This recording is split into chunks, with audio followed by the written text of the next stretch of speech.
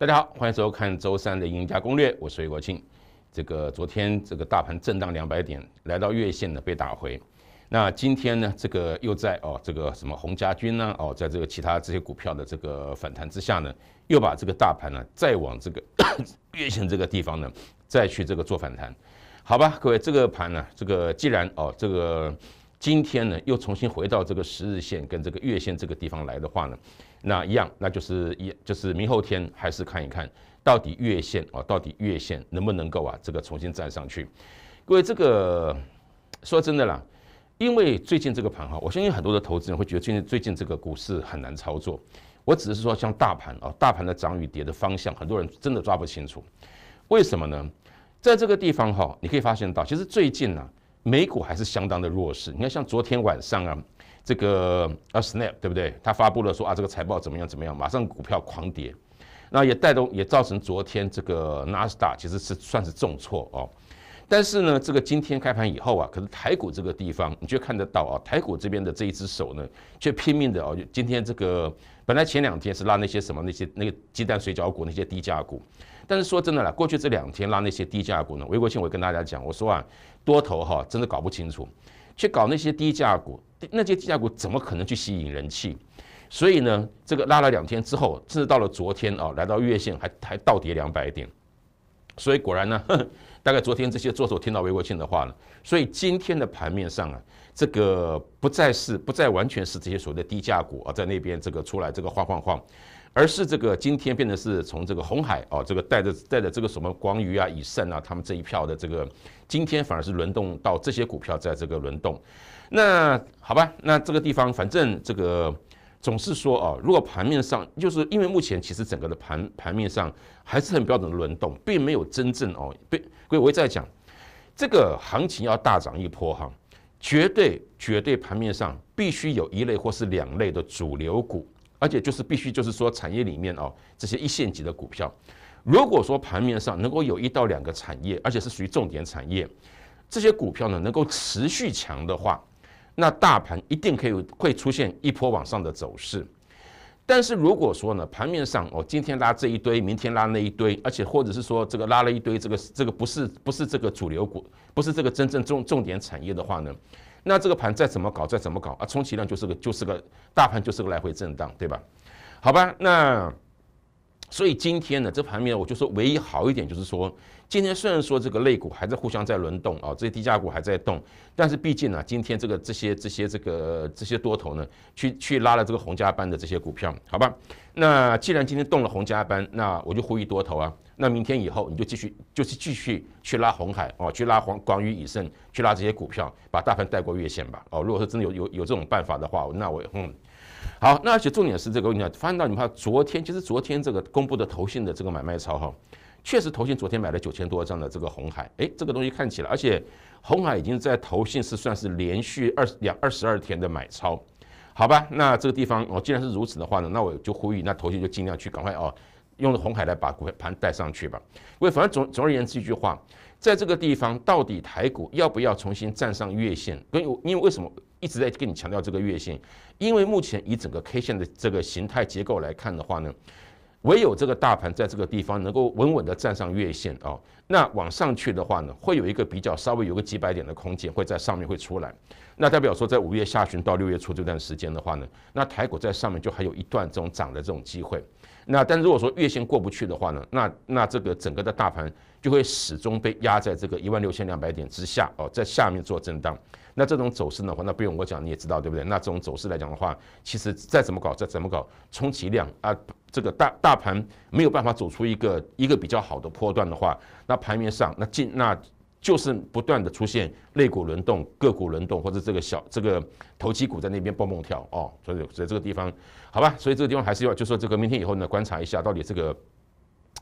能不能站上月线去往上攻一波啊？如果说能够站上月线上去的话呢，那当然我讲，那五月下旬到六月初。这个行情会稍微会有一些，那到那个地方的话呢，可能你做股票会做的比较轻松一点啊。不过当然话讲的话，你看当今天呢这个大盘又是来到这个月线这个附近的时候，可是今天的成交量还是一句话都是没有放大哦。所以其实从这个五月份以来啊，除了这个五月上旬跌了这一波之外呢，其实过去这两个礼拜以来，基本上台股算是一个往上震荡的格局。但是在问，但是问题在过去这两个礼拜在往上这个反弹的这一段过程当中呢，其实啊，我想大家心知肚明了，成交量成交量始终都没有办法稳定的放大。各位，其实这个我想量价关系大家也都懂了哈。你真的要在能够走出一个波段，能够走出一个波段的话呢，那再怎么样，那个成交量应该是很稳定的哦，持续性的放大。那这样所谓的价增，这个所谓的量增价增的这种情况，才是一个真正一个比较健康的一个一一个一个多头走势了。但是这个，但是问题是在这个地方哦。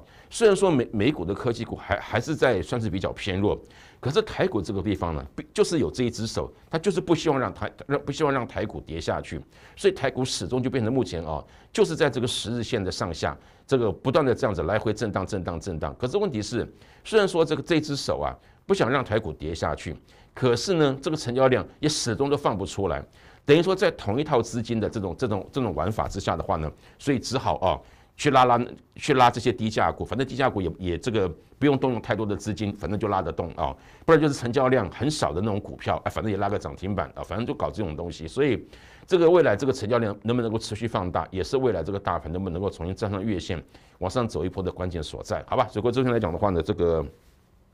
反正哦，这个盘已经跟各位谈了很久了，就是这个，就是目前就是你看看这个月线过不过得去，而且重点是盘面，因为因为目前整个的大盘盘面上的股票呢，还在出现这种所谓的个股或者是类股的轮动哦，所以这个地方，各位其实你在最近很多的这个投资人哦，呃，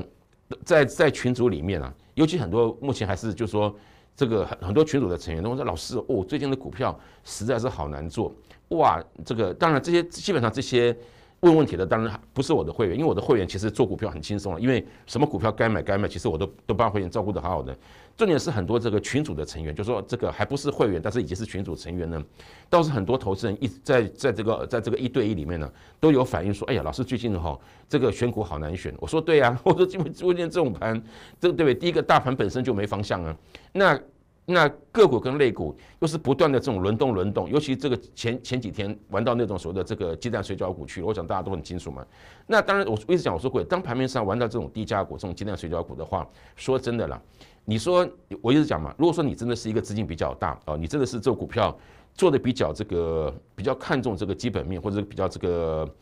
啊喜欢做一些好的股票的话。那你盘面上这种这种一二十块钱的股票在在那边在那边蹦蹦跳，我想对于你来讲，你你真的对你讲没有什么吸引力啊，你就觉得这个盘反正就是玩那些东西，对不对？所以我就我也讲过这个地方哈，这个地方我也在讲，这个我呼吁多头啊，在这个地方如果说要成盘的话哈，不要只是玩一些轮动的这种，尤其不要只是玩到低价股去，赶快赶快把这个电子的一线股啊。起码台积电，哎，不过今天稍微好，也是说，今天除了红家班的股票在动之外的话，当然今天的这个像这个联发科啊，哦，这个又涨了十几块钱。可是问题是，问题是联发科的股价也是一个问题，就是说，联发科的股价始终哦，就是在这个短期均线，在这个月线上下呢，也是这样来回，就是跟大盘差不多，就不断来回这样做震荡，也没有真正能够走出一个波段行情的。我这就是我就说，这就是目前台股最大的问题所在啊。这个美股不强，可是呢？台股这个地方又一只手撑着不想让台股跌，所以这搞来搞去搞的就是上不上下不下的这种情况，所以这大家觉得难做在这个地方。好了，那还是就反正未来几天你就看看月线吧。好，这是第一个重点。不，当然这个其实说的这个目前在这个地方啊，倒是今天呢这个新闻上倒是有一个消息哈，我倒是这个跟大家分享一下，我提醒一下，就是说今天这个报纸呢，这个有一篇这个报道，就是说啊。这个 Fed 啊，有一部分的这些官员呢，开始试出哦，这个利率政策呢可能转变的讯息哦。譬如说，这个比较是属于偏鸽派的哦，这个亚特兰大这个联准银行的这个总裁哦，那个波斯蒂克这个人呢，不过他向来是比较鸽派的。他说，在经历六月、七月这个在各升息两码之后呢，九月份的会议呢可能会这个暂缓哦升息是合情合理的。那至于说本来的那个大鹰派有没有那个布拉德啊？他他的意思也是说，他说这个如果通膨啊那个越早得到控制，明年有降息的空间。不过这个话说的就有点远哦。如果通膨越早得到控制，这个这个都是有假设性的前提。那如果通膨没有得到控制呢？哦，所以这东西就是说，这个地方其实看得出来，就是说这些其实联准会的官员里面呢，一样就是鸽派鹰派哈，反正各说各话。那但是这个毕竟这个鸽派的人呢出来讲了这种事情，那。这个报纸的标题是说，哎，Fed 的风向变啊，传秋后暂停事情。问题是，当然这个目前来讲只是个报纸的标题了。那是不是真的这个这个呃秋季，就是 九月以后啊，真的费的会不会停止升息？那大家拭目以待吧。那当然了，这个东西也是说，那就是看这个经过啊，这个呃六月、七月再升息之后，如果真的下半年从，譬如说从这个八月以后啊，如果真的是说这个这个通货膨胀啊，譬如说有，但是我这个只是我说过了啦，其实通货膨胀，因为这一次通货膨胀不是单纯的需求面的问题，它是在供给面上，在供给面上。因为这个锻炼的问题啊，这个锻炼有有是两种原因造成的。就短期来讲，那当然就是疫情啊，像这个中像中国大陆前阵子还继续这个上海这个封城这这种事情，当然会造成这个供这个这个整个的运输停止，供应链本身就断掉。不过当然这个是比较短期现象。可是我昨天也特别提到，我说，但是就比较这个真正更深层的是说，因为这个过去二十年哦，因为全球是这个走在一个这个就是一个很。分工很细的这样子的一个过去二十年全球的这种贸易是这个分分工非常的细，那可是从这个从这个这个川普上台以后呢，因为他强调的是是这个哦这个美国至上哦所谓这个，然后呢，各位你要知道哈，这个呃去就是在二十世纪的时候，在一次大战结束之后，其实这个当时。全球的景气是有上来，可是记不得那时候不是那个在，但在那个一九二三零有没有一九二一九一一九二零年到二三到三零年段时间，不是出现过一次全球的经济大恐慌吗？有没有二零年就是一九二零年到三零年代的那段时间，全球出现过一次的经济大恐慌，对吧？如果你你有念过这个历史或者经济史的话，我想你就知道。但而且重点是个，那为什么当时在这个一九二零年代到三零年，为什么会出现那个一次的这个全球的这个？经济大恐慌，那时候就是也是美股都暴跌嘛，因为那一次的这个经济恐慌就是来自于关税壁垒，就是来自于有没有各个国家之间哦贸易的互相对抗跟报复。因为从第一次大战结束之后，本来啊这个全球的这个这个经济呢是慢慢的从战后开始慢慢的恢复上去，可到了一九二零年代之后哦，那个就是欧洲国家也好，美国也好。哎，就是跟这一次，其实跟这个这个这个川普的这种心理一样，哎，觉得是说好像这个哎，这个东西我我进口你的东西啊，哎，你我我有贸易赤字啦，哎，怎么样怎么样怎么样？所以当时就是因为各个国家开始啊出现了贸易战哦，彼此之间关税壁垒。所以呢，把全球的这个就是那个国际贸易呢，就这样打下去了，所以造成当时全球一次所谓的经济大恐慌。关于你有空的话，要是你你不了解这个一九二零年到三年代的经济大恐慌，我我我我建议你去这个把这个当时那段时间的历史拿出来看一看。其实跟跟这跟这一次从这个川普上台以后，过去这四年以来啊，这个美国不断的这种搞这种全球对抗哦，其实有有点类似。而且呢，就是因为从这个川普之后呢，因为他这个一直强调说这个啊，希望说这个所谓制造业回到美国去，然后呢，就是跟中共跟中国之间不是哦什么这个这个提高关税啊，什么东西搞了老半天，所以这个过因为从川普开始的这种这种态度跟政策呢，所以造成过去二十年全球的这种这个产业分工跟这个国际贸易呢，这四年以来哦，也发生到就是说开始有转变啊，就是。确实有有有些产业，譬如在中国的的生的生产线哦，它搬离了中国，比如回到美国去，或者回到跑到其他地方去，各懂意思没有？所以这一次这一次的这个通货膨胀，多多少少就是跟这个跟这个贸易壁垒哦，跟这个贸易对抗，其实都是有关系的啊。只是说刚好这些因素呢，全部又凑在一起，然后刚好又碰到什么俄乌战争，哇，就搞得这个东西就是哦。所以我就说，我说说我说这个通货膨胀这件事情呢。这个像布拉德讲的，若通膨越早得到控制，我说这个东西叫做假设性前提嘛。那问题是什么叫做得到控制？几帕叫做得到控制，对吧？我懂我意思吗？好了，但是不管，那我们就看看到底这个哦，这个从今年七月八月以后，到底全球的通膨会是个什么状态了？好吧？那另外呢，我当然了，就是目前这个这个美美国这个。十年期公债殖利率啊，最近是有从三趴多，确实是有稍微有回档一下，回档一下。但是这个最近这个十年期公债殖利率的这个殖利率往下掉啊，倒不是说因为大家，倒不是说，倒不是大家认为这个通膨，哎，好像这个已经结束了哦，所以利率跌下去，不是，实在是因为美国的股市因为空头市场，所以很多的资金呢从股市撤出去。那你想，在那些资金从股市撤出之后，要到哪里去？没地方可以去啊，啊就反正去买就去买债券嘛。因为进去买债券，各位你知道，其实债券这个东西，因为进去买债券，所以价债券的价格会上去。但是因为债券是价格跟殖利率是刚好是倒过来的，所以其实这一次这个美国十年公债殖利率的这个下这个往下降，我说过这个不是因为它市场预期说后面的这个通膨会结束，而是因为很多这个从股市这个逃出去的钱跑到债市里面去，哦去买了债券，所以造成殖利率往往下压，好吧？所以这东西是这么来的。那但是毕竟这个殖利率目前是在往下掉，那就大家看一看到底未来一段时间啊，这个指标性的这个十年公债殖利率呢，到底这个未来会得到什么地方会是一个低点？我想这个东西啊是比较重要一点，好吧？好了，不管怎么样讲，反正就说这个来讲，就是因为最近这个消息啊，也是这个多多空空一堆了哈，所以我想这个地方呢，那你就密切注意一下，到底这个这个 Fed 或是美国这个地方他们到底搞些什么东西了，好吧？好了，各位说，其实说来说去，就是说目前大盘在这个地方。好了，如果说如果真的哦，就要真的这个到了这个八九月以后呢，如果说真的这个费的有稍微有有这个停止这个升息的话呢，那当然了，那对于股市来讲的话，那短线确实一段时间有比较反弹的这种机会啊。那这个地方到底是台股开始率先反应呢，还是这个美股一一段时间之后也开始不跌做反应呢？那大家就拭目以待吧。好吧，我跟你讲，各位今天因为。说这个，因为在这个地方哈，就是很多的这个投资人在在群组上问我说：“老师哦，到底这个盘现在怎么看？到底这个方向在什么地方？哎呀，这个盘最近这个乱七八糟，很难做，什么什么之类的。”对了，各位，所以我我说这个地方哈，当然这个归根结底还是一句话，就说因为目前整个的这个我讲，因为目前的中期走势，中期走势在跌破年，我讲我说各位这东西哈，市场的多头空头实在不用这个不用狡辩哦，也不用这个。这个这个好像这样，非要这个看多看空。我说各位，让事实来说话，让事实来说话。我一再讲，多空头市场其实啊很好很好判断，只要大盘指数守在年线之上，那它就是个多头市场；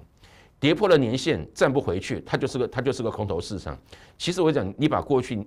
十年、二十年，甚至三十年、四十年、五十年，你把台股推开来看，你看你就知道，对吧？你懂我意思吗？啊，这没有什么好争辩的。反正目前在这个台股也好，美股也好。在这个没有办法站回到年线之前上去的话，这个地方充其量，不论这大盘哦有没有一只手在撑这个盘，不论再怎么弹再怎么弹，反正在这个地方它就不是一个多头结构，你懂吗？所以为什么在这个地方你会觉得盘面很乱？为什么在这个地方你觉得股票很难挑？为什么股票，尤其是有两个，因为通因为通常啊，在一个这个走空的这个市场里面的话呢，当然是这个越好的股票，其实它这个它这个下跌的这个反而是比较明显哦，因为那种没有成交量的这个低价的哦比较投机的股票。那因为在这个资金无出去的情况之下的话呢，这个短这个主力会去拉抬那个股票，所以反而在在大盘在跌的过程当中哦，那种这个低价的哦，或是这个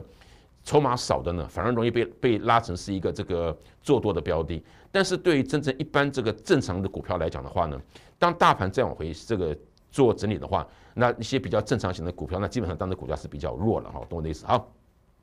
所以还是注意一下这个地方。那这个不过当然了，这个。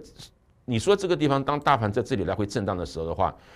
扣掉那些投机股，扣掉投机股，扣掉这些低价股，扣掉那种没有量的股票之外，其实在这个地方，你说如果你真的我一直讲，在这个地方，如果你真的短，你真的在这个短线上，你还是希望做股票的话，我也在讲各位，那在这个地方，其实有些股票哦，第一个，因为它的它的未来的前景真的是非常非常的好。那但重点是个，不是只有基本面好，而且重点是目前它股价的这个技术面哦来讲，它真的还是一个这个偏多的结构。那这种基本面未来前景够好哦，这个它的这个 K 它的这个技术面还是个多头结构的话呢，那这一类股票在这个地方确实也是你啊，在这个地方哈进可攻退可守，短线长线都可以做的股票。那各位，其实今天有一只股票哦，哎哎，如果说今天哦，如果以收盘价算的话哦。中沙哦，几乎要也要创历史新高了。哎，这个本来这个前这个上礼拜最强的是元泰，对不对？各位，上礼拜我想，如果你一个多礼拜之前你有看这个赢家攻略的话，当时我从五月十一号、五月十二号我就跟你预告说，哎，元泰元泰，当时就是因为大盘有没有从四月、五月就一路有没有，就到了五月初，大盘还在创新低嘛。可是，在了五月初，当大盘还在创新低的时候，可是元泰当然在五月初有没有在这个地方呢？大盘。重挫，可是元泰呢，都始终股价都守在我的大幅线。我就当时我就一直讲，我说，哎，你注意哦，这种股票，这种股票，大盘跌成那个样子，可是股票都不跌，而且重点是都没有跌破大幅线的话，那这个人铁铁定哦，各位，我我有一句口诀，这个大这个股价有股价有有整理哦，股价只要没有跌破大幅线哦，波段没有结束，后面必有高点。各位，这个如果说你你你之前有看过人家攻略的话，我再告诉你，贵股贵股票这种东西哈，说贵股票啊，说穿了啦，贵股票这种东西哦，每天大家在这边讲东讲西讲了一堆东西，其实啊，股票最归根结底，你能你能不能赚到钱，其实只有两件事情呢，一只股票对不对？可不可以买？可不可以续报？哪里要卖掉？各位说说穿了，在股市里面，你想赚钱，不论好股烂股哦，不论这个绩优股、投机股，各位不论你买了什么股票，各位说穿了啦，最归根结底，你要能够赚到钱，其实说穿了，不不论任何的股票，就是一只股票，可不可以买？可不可以续报？该不该卖掉？对不对？这三件事情，如果你知道的话，不管任何的股票，你都会赚到钱。如果说一只股票，哪里该卖你也不知道，可不可以续报你也不知道，尤其到该卖的时候你还不知道的话，对，那再好的股票你也一样跌翻天了。那台积电从六百八十八跌到现在五百二，那你说怎么样，对不对？很多人就是买了台积电，买到六百多，哎呀，以为说怎么样护国神山都不卖不卖啊，那跌给你看。所以各位，股票其实说穿了，任何的股票归根结底，你想赚钱就是一只股票，可不可以买？可不可以？尤其尤其当大盘或者个股在震荡的时候，那只股票。还可以继续续报吗？还是该卖掉？贵，尤其这件事情是股市里面绝大多数的投资人搞不懂的东西。所以为什么股市是二八法则？代表说绝大多数的投资人就是一只股票啊，可不可以续报？该不该卖？因为这些你搞不清楚，所以呢，这个后面呢经常都被套住。但是我也在讲，但是我说贵啊，问题是韦国庆对不对？我我给会员所挑的股票，以及我在节目上我率先预告你的股票，那个那元泰上个礼拜连涨五天。股价创历史新高，上个礼拜以来，上个礼拜五天时间，元泰就是当时上个礼拜全市场上最强的一只股票啊，对吧？虽然说它它不是它并没有每天涨停板哦，我就讲给今天微国庆，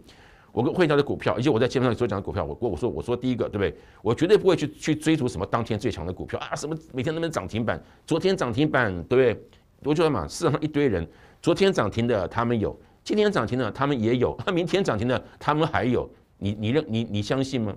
但是问题是，我我说，但是问题，我给朋友挑的股票，一定第一个，它的基本面未来的前景是一定很好。但是我这样，我跟我这样提醒你哦，光是基本面好，这股票不一定可以买哦，也不一定可以报哦。台积电就是活生生的例子。但我重点是说，任何一只股票，只要股价哦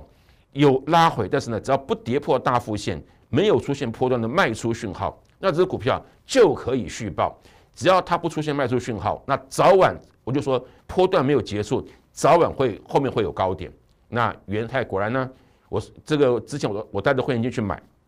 那我从五月十一号开始跟你在节目上开始做预告，当时元泰也不是当时最强的股票，啊但是果然后来那上个礼拜一五天连涨五天创历史新高，那涨多了以后哦，这两天有拉回一下，跟你讲拉回两天，股价还是守没有守在大幅线之上，今天又开始啊晚上开始跟你谈嘛，那我说跟你讲，这种股票才是真正所谓的在目现阶段里面。真正最强势的股票，即未来的成长性够强，股价哦，在这结又是在大在我的大幅线里面，还是个多头结构。那除了元泰哦，这个上个礼拜强之外，那各位啊，那最近的中沙哦，确实也就你看看，过去这两个月它的形态跟元泰是不是几乎一模一样？大盘不论再怎么跌，再怎么再怎么，可是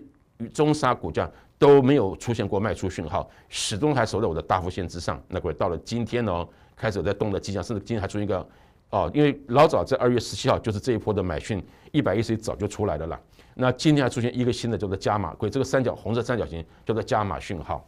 那各位，那其实所以而且各位中沙其实我在节目上我也跟你讲过很多次了。我说各位中沙为什么前景好，来自于三个方面。第一个，它的那个钻石碟，对不对？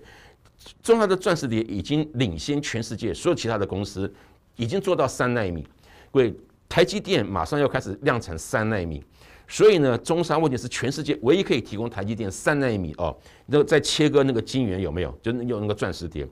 哎，所以各位你知道中沙的这个技术已经是领先全世界，代表说全世界不管美国不管欧洲，没有任何一家其他的这个半导体设备公司能够做到三纳米的这个钻石碟。你知道三纳米有多么的细，你知道吗？所以中沙，你说这个公司的技术强不强？技术超强。所以我说各位，我维国我在讲维国信沃格片所挑的股票。我绝对要去找那种基本面很强的公司，绝对不绝对不玩投机股，绝对不会去搞那种什么小妖股哦。那中沙哦，第一个，那随着这个台积电三纳米的这个逐渐的量产，所以中沙未来哦，台积电的这个大订单都是到他手上去。而且我问郑说因为中沙能够吃下台积电的三纳米，那各位你想一想，那将来很多其他的公司有没有？不管是其他什么这些这些全国其他的国际那那些国外的那种代晶圆代工，他们如果要要做到这个这个高阶的时候，他们也来找到中沙。那另外，中沙在这个所谓的这再生晶圆呢啊，像最近不是升阳科那个再生晶圆，最近国家也在动吗？所以再生晶圆这块其实最近的市况也不错啊。再来就是那个它传统的那个那个砂轮呢，就是给那个 ABF 载板那一块，所以中沙一样，它就目前来讲，它的基本是非常的强。而且重点是，啊，再加上它的技术面没有出现到卖出讯号，所以这个也是我优先的会员。我我在低档我一直在买的股票啊，今天哦股价基本上各位哦，嗯，已经可以挑战历史新高了，哎，不错不错哈。好，所以像我我就说，如果说你真的你希望啊，股票都能够买到这种股票哦，真正体质好，它它的涨不是在玩投机的，真正体质好，它的涨不是玩投机的话，那过来那各位我就欢迎你，你只要跟上为国情。我我一再讲，今天我是从基金经理人出来的。我买股票，我绝对不会跟你去买什么小妖股。我都是会员买这种未来的成长性非常好的公司，再加上在技术面上，它不是一个空头走势。各位啊，我在讲的是，任何好的股票，如果在技术面上是个空头走势，譬如像台积电的话，那股票你千万不要去碰啊！啊，你懂我意思吗？不要拿基本面自己去麻醉自己哈，这点很重要。好了，那除了这些这个中沙哦，这是元泰才是目前真正所的强势股之外呢，当然了。最近这个红海啊，这个股价也开始这个有这个哦，慢慢在往上走的这样子一个情况。那如果说这个，那如果说你对红海有兴趣的话呢，那我建议你，你你你大家可以注意了，因为这个地方哦，它最近的股价确实表现不错，那投信一直在买，好吧？那这反正就是一句话，就是说这个目前在现阶段，当大盘呢还在不断震荡的时候哦，那这个到底什么股票哦，真正体质好的股票，再加上在技术面它这个多头结构的各位啊，如果你能够挑到这样子的股票。在这个地方，你要赚股票钱，其实是也不难哦。但是千万不要去玩一些投机股，不要只是每天被那种轮动的股票啊，这个这个搞到你自己这个哦，这个眼花缭乱，好吧？好，那跟上微国庆啊，这个我我多次帮会呢挑出这种好股票出来。我相信，如果说你认同股票是要买这种的话呢，那你就过来早早跟上我。另外，各位不要忘记喽啊。这个如果说你现在还没有加入我的群组的话呢，请你赶快扫描这两个 QR code 啊，加入微信的群组。那在这个里面有更多的资讯啊，提供给你做股票的参考，好吧？好，祝大家出的顺利啊！今天到此，谢谢各位。本公司与所推荐分析之个别有价证券无不当之财务利益关系。本节目资料仅供参考，投资人应独立判断、审慎评估并自负投资风险。